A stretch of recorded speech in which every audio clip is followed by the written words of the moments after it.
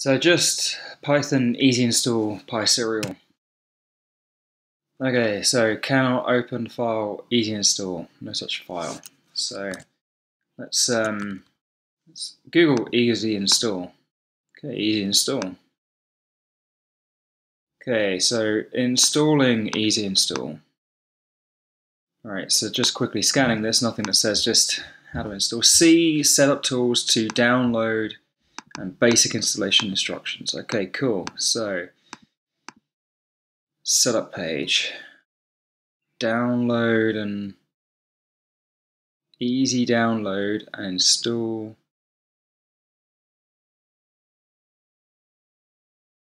Okay, see the installation instructions of Python Package Manager for installing and down install. Okay, let's go to there.